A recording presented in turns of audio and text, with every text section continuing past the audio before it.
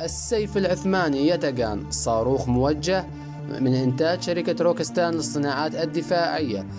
قاذف يطلق صاروخ موجه من عيار 40 ملم المنظومة تهدف لزيادة القوة النارية الدقيقة لجنود المشاة بأنظمة تطلق صواريخ موجهة خفيفة النظام. حمل اسم يتجان أي السيف العثماني. الصاروخ الموجه يتم إطلاقه من قاذفة قنابل خفيفة يحملها جندي واحد ويتم توجيه الصاروخ بالليزر شبه النشط. بنسبة دقة تبلغ مترا واحدا. بأسلوب باحث ليزري يتلقى الأوامر من جهاز التصويب الذي يوجه الصاروخ نحو الأهداف مستخدما أجنحة ال canard المناورة وتصحيح مساره.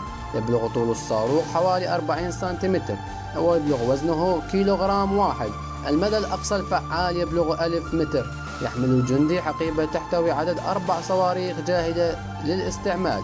النظام لا يزال قيد التطوير والأبحاث بعد عدة نسخ بينها ما يمكن إدماجه على أبراج متحكمة بها عن بعد.